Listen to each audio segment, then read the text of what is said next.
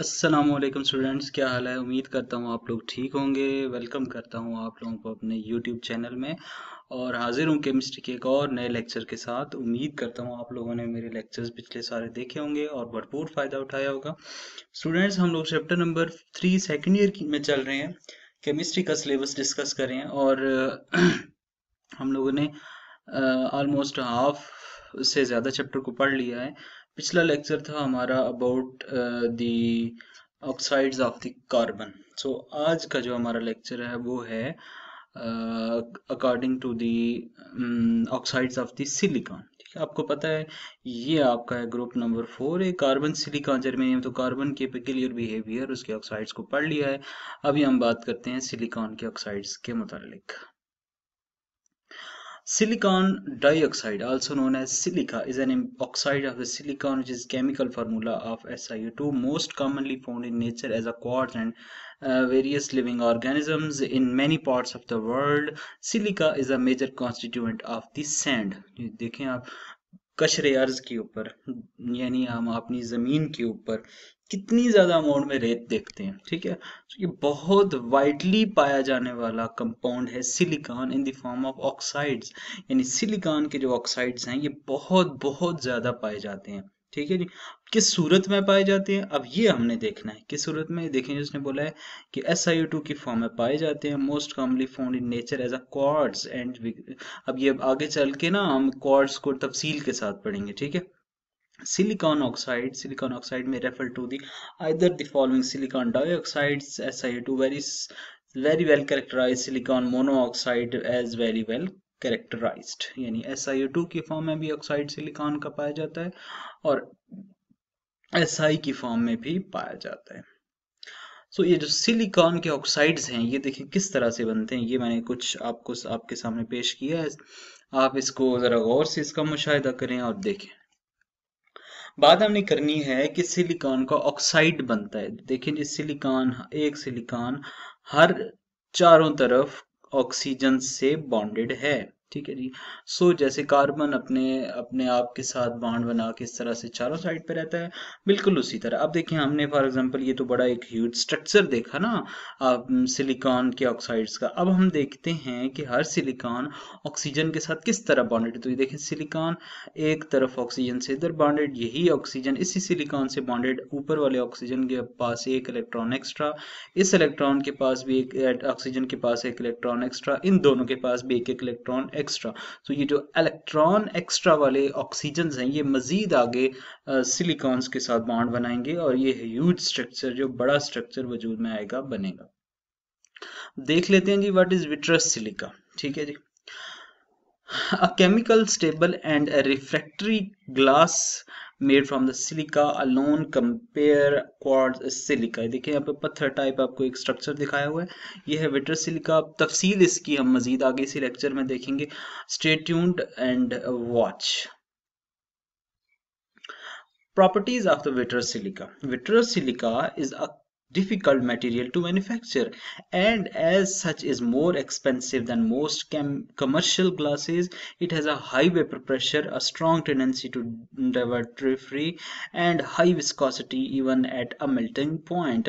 These physical character preclude the use of the standard glass forming the techniques यानी बहुत बड़ा commercial level पे use होने वाला कंपाउंड है विच इज़ विट्रस सिलिका और इंपॉर्टेंट प्रॉपर्टी जो इस पेज पे यानी हमने इस पॉइंट uh, के अंदर डिस्कस की है वो है क्या है? उसको हम बोलते हैं कि जो विट्रस सिलिका है उसकी वेपर प्रेशर हाई होता है, ठीक है ज़्यादा टेम्परेचर चाहिए होता है बॉन्ड स्ट्रॉन्ग होते हैं इस वजह से, और विस्कस इसकी इतनी ज़्यादा होती है कि मेल्टिंग पॉइंट पे भी हाईली विस्कस ये कंपाउंड है। विस्कस का मतलब है कि ये क्या है कि बहुत ज़्यादा ये हार्ड है, यानी कि कसाफत डेंसिटीज़ की मालिक्यूल में जो जुड़ाव है वो ज़्यादा है, ठीक है जी। इसकी कुछ प्रॉपर्टीज़ देख लेते हैं जी। It is transparent to the light light के साथ ये ट्रांसपेरेंट है। लाइट इसके आर पार गुजर सकती है। शफाफ है। Almost impossible to melt it आमतौर पे इसको मेल्ट करना मुश्किल होता है but softens to 15 to 1500 degree centigrade 1500 degree centigrade पे इसको सॉफ्ट किया जा सकता है, यानी कि थोड़ा बहुत इसको मेल्ट किया जाए। वेरी लो थर्मल एक्सपेंशन यानी जितना मर्ज़ी हीट किया जाए एक्सपेंड नहीं होता, फैलता नहीं है, ठीक है? एक्सीलेंट इंसुलेटर इजीली यानी इसमें से करंट गुजर ही नहीं सकता। Impossible to became it a conductor ठीक है? It is highly brittle and elastic insoluble in water these are the famous famous properties of the uh, vitreous silica which is uh, very important uh, according to your concept of short questions you have to prepare these properties for the um, paper concept and for the paper okay? आप लोगों ने short question के लिहाज से ये properties को discuss कर। अब देख लेते हैं कि हमने पहली डेफिनेशन में कॉर्ड्स के बारे में पढ़ा था।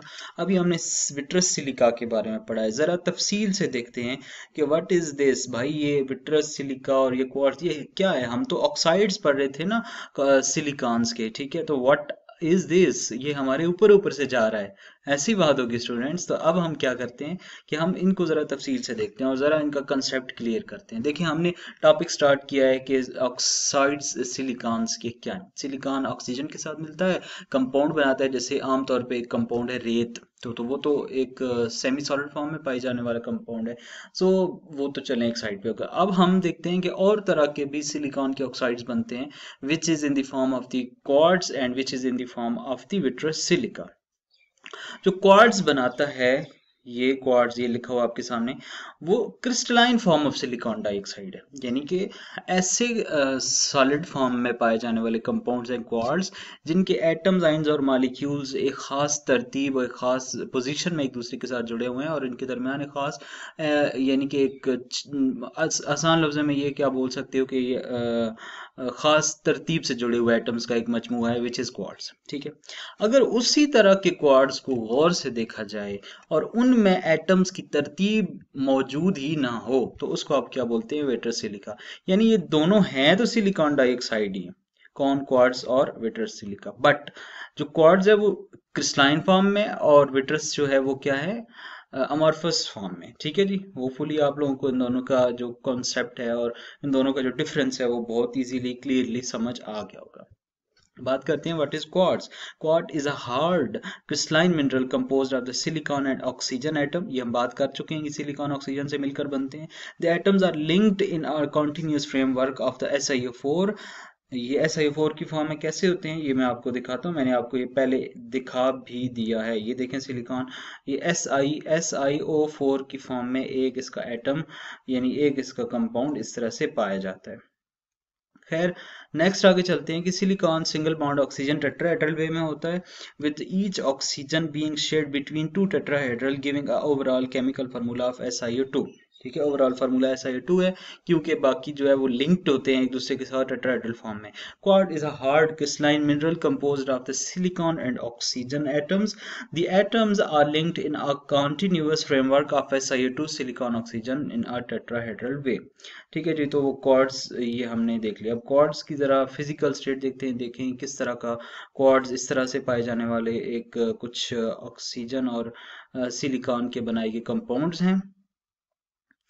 बात करते हैं कि हम देखिए, हमने बात की कि पिछले लेक्चर में कि कार्बन भी ऑक्साइड्स बनाता है, अब हमने बात कर ली कि सिलिकॉन भी ऑक्साइड्स बनाता है।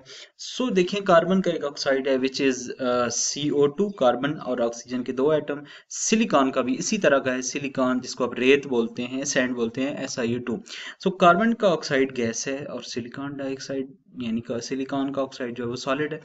अब आपकी बुक का एक इंपॉर्टेंट बहुत ज़्यादा इंपॉर्टेंट शॉर्ट क्वेश्चन है कि जो कार्बन डाइऑक्साइड है वो रूम टेम्परेचर के ऊपर गैशियस स्टेट में पाई जाती है, जबकि सिलिकॉन डाइऑक्साइड क्या है कि एक सॉलिड फॉर्म में पाए जाने वाला कंपाउंड है तो इसकी रीज़न बताएँ। ठीक है जी? हम रीजन इसकी पढ़ते हैं।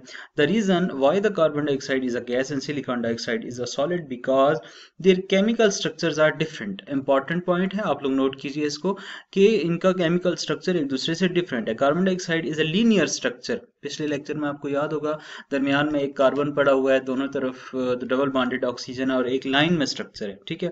बट आपने अभी देखा कि जो सिलिकॉन डाइऑक्साइड का स्ट्रक्चर है, ये देखें, ये तो लीनियर है ही नहीं, ये तो टेट्राहेड्रल स्ट्रक्चर है, ठीक है?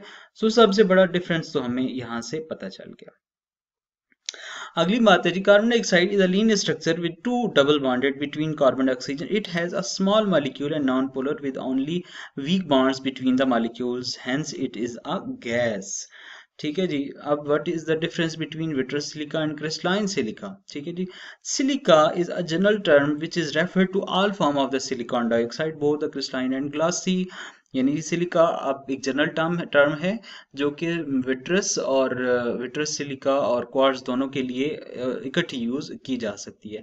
मतलब कि आप बोल सकते हैं कि क्वार्ट्स जिसको हम बोलते हैं क्वार्ट्स में भी थोड़ी देर पहले आपको बताया ना कि क्वार्ट्स में एटम्स जो है वो तरतीब से जुड़े होते हैं क्रिस्टलाइन फॉर्म में होते हैं और जो दूसरा है यानी विट्रस सिलिका, वहाँ पे एटम तरतीब से नहीं जुड़े हुए तो। बट उन दोनों को जो कलेक्टिवली बोलते हैं बोलते हैं सिलिका। ठीक है जनरल टर्म है। But both the crystalline and glass silicon glass C silicon glass is an um, uh, ambiguous uh, term because it uh, normally refers to any silica containing the glass composition. Fused silica applies to the vitreous silica referred by the fusion. Fused silica refers to the vitreous uh, silica formed. Students, ये हमने पढ़े oxides of carbon And oxides of the silicon यानी पिछले lecture में हमने carbon के oxides को पढ़ा, अब इस लेक्चर में हमने पढ़ लिए जी सिलिकॉन यानी एस आई के ऑक्साइड्स को पढ़ लिया। ठीक है जी होपफुली आप लोगों ने इस लेक्चर से भरपूर फ़ायदा उठाया होगा। अपनी राय का इजहार कीजिएगा। थैंक यू सो मच मिलते हैं नेक्स्ट लेक्चर में। अल्लाह हाफिज़।